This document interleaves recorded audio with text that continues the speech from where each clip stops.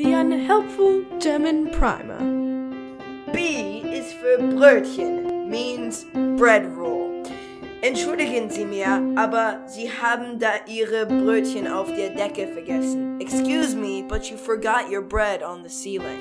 R is for Rührei, means scrambled egg.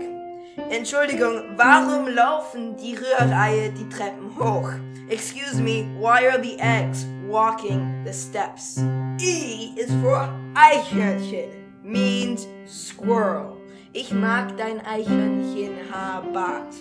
Excuse me, I like your squirrel hair beard. S is for Schleswig-Holstein. This is a state north of Germany. Ich möchte nach Schleswig-Holstein fahren, um meine Füße zu färben. I want to drive to Schleswig-Holstein to dye my feet. S is also for Schlittschuhlaufen or ice skating. Sehen Sie die Schlittschuhfahrende Katzen? Do you see the ice skating cats? Q is for Quietschente, means rubber duck. Die Quietschente wollen mein Blut. The rubber ducks want my blood. The unhelpful German primer by George Stetter.